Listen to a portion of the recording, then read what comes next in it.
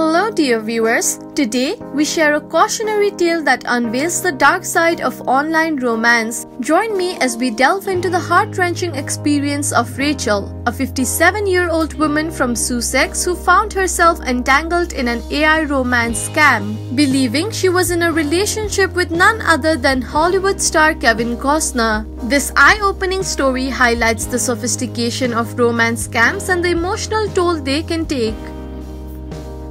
Rachel, a respected medical practice owner, had been divorced since 2005 and was on a quest for love. Little did she know that her search would lead her into the intricate web of an AI romance scam. It all began when she received a message from someone claiming to be Kevin Costner after leaving a comment on his official Instagram page.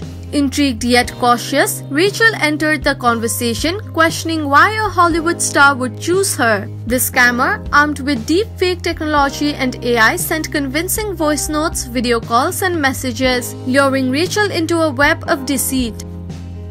As days turned into weeks, the AI imposter intensified the romance, creating a sense of love and connection in Rachel's heart. Messages flooded in at all hours. Sweet voice notes brought comfort and video calls became a regular occurrence. The scammer went to great lengths impersonating Kevin's friends and family, further weaving the illusion of a genuine relationship. Rachel, genuinely believing in the authenticity of her connection, shared her life, dreams, and experience with the fraudulent Kevin Costner.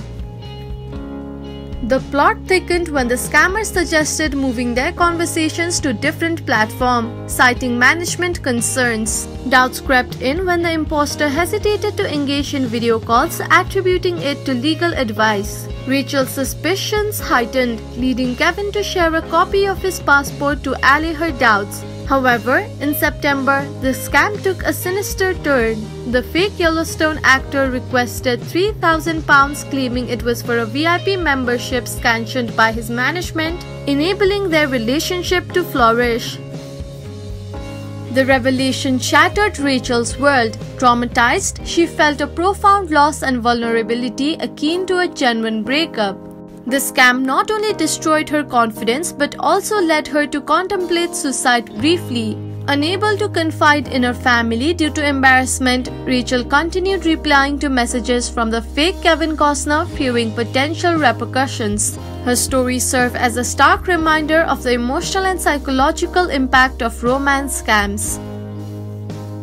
Rachel, now determined to prevent others from falling victim to such scams, bravely shares her story. She emphasizes the high level of sophistication involved with AI-generated voice notes and video impersonations. Her message resonates beyond her personal experience, urging everyone to stay vigilant against online predators. Rachel's story is a testament to the fact that anyone, regardless of their background, can fall prey to romance scams.